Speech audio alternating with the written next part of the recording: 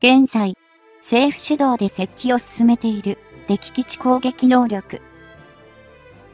非常に残念なことに、年々、その必要性を訴える声が高くなってきました。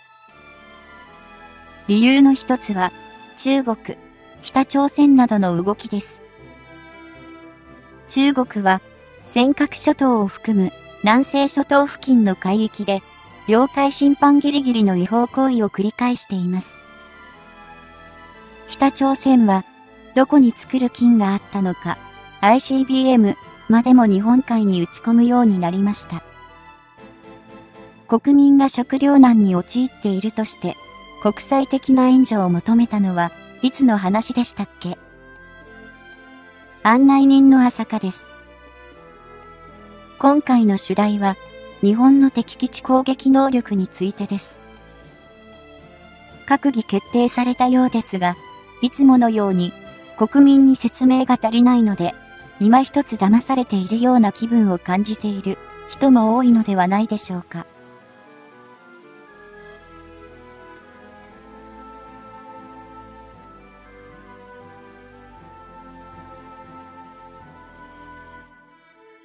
2020年12月18日の閣議で、スタンドオフ防衛能力の強化が承認されました。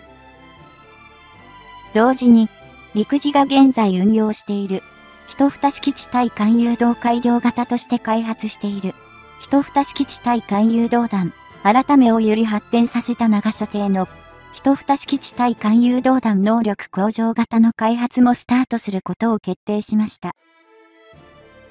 2021年、令和3年から2025年、令和7年までの期間に394億円をかけて開発することが決められたのです。一蓋式地対艦誘導弾は現在運用中ですが、この射程距離は百数十キロメートルと見られています。2022年まで射程を200キロメートルまで伸ばす一蓋式地対艦誘導弾、改めの開発を終了する予定になっています。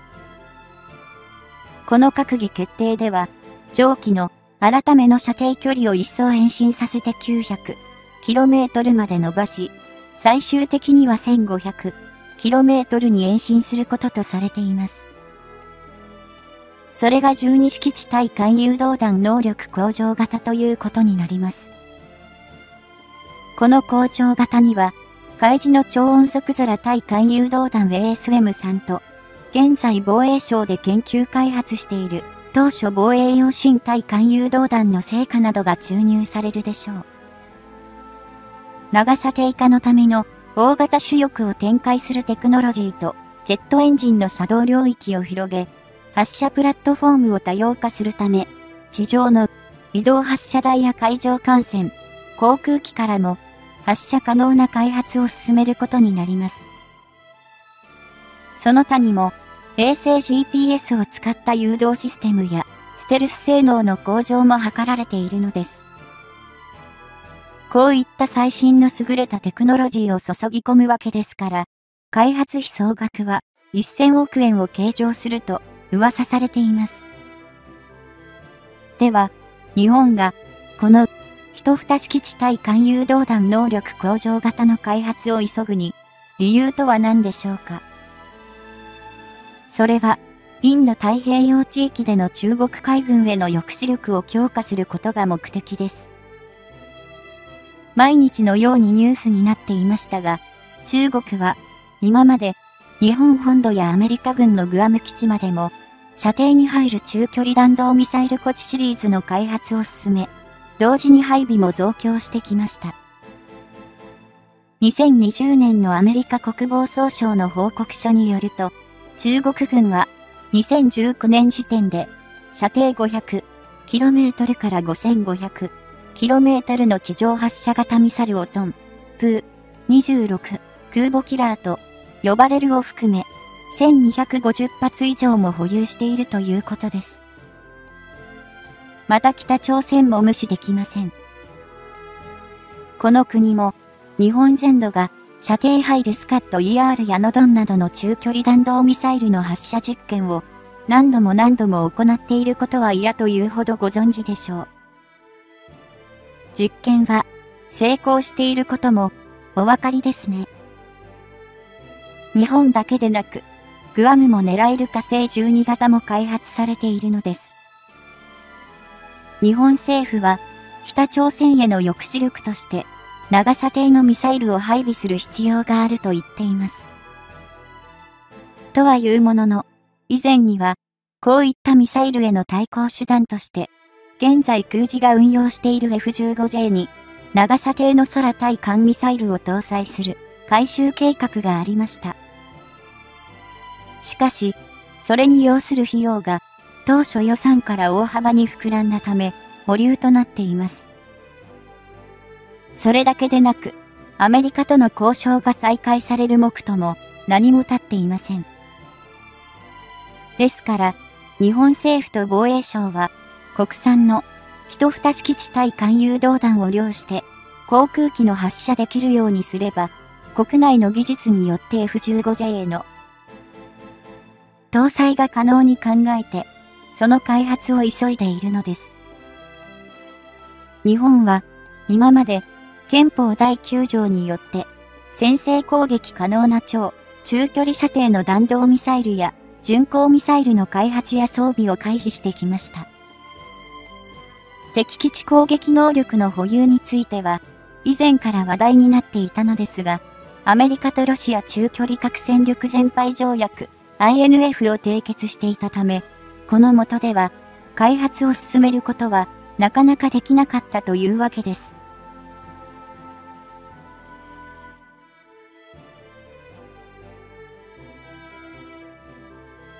しかし、2020年6月、当時のトランプ大統領は INF の廃止を宣言しました。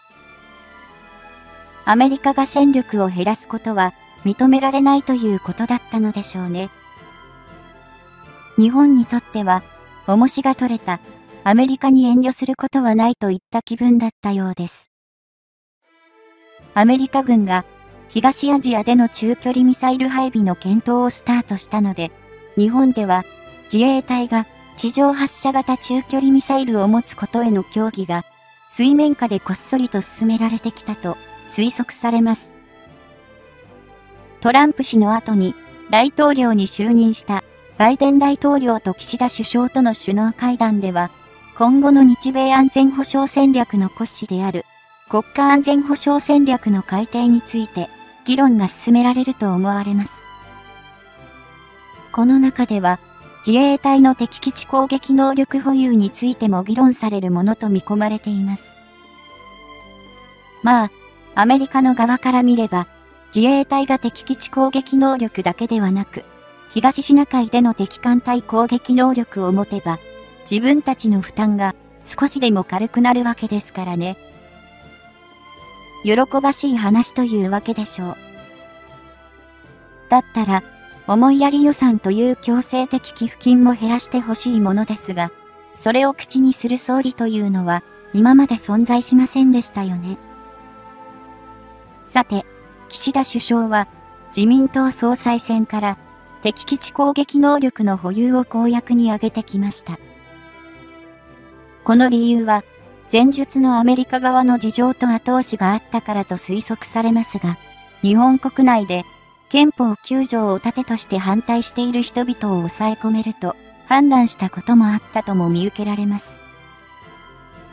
ここで、お隣中国の様子を見てみましょう。やはり、自衛隊が敵基地攻撃能力を保有することに関して、非常に強く反発しています。古くは日中戦争に思いを馳せなくても中国の反応は当然といえば当然なのですが、やっぱりね、といった感じですね。海地が出雲、片越栄艦を空母に変えて、最新鋭第5世代ステルス戦闘機 F35B を搭載することへも反発はありましたが、それよりもずっと強い反発を見せています。逆に言えば、日本が中距離ミサイルを持ったら、中国への強い脅威になると考えている証拠にもなるようです。敵を攻撃する戦力を持つより、敵の攻撃を撃ち落とす、戦力即地弾道ミサイル迎撃能力を向上させるべきではないかという意見もあります。中国がミサイルを発射してから日本が迎撃するのは残念ながら至難の号ですし、極超音速ミサイルであったなら、迎撃は全くもって不可能なのだそうです。でも、秋田に配備したいと大騒ぎした末に白紙撤回した地上のイージス・イージス・アショアは敵のミサイル迎撃用兵器だったと思うのですが、性能が異なるのでしょうか。敵基地攻撃能力保有希望意見では、最も重要なのは、ミサイルを発射させないこと抑止力という式が成り立つようです。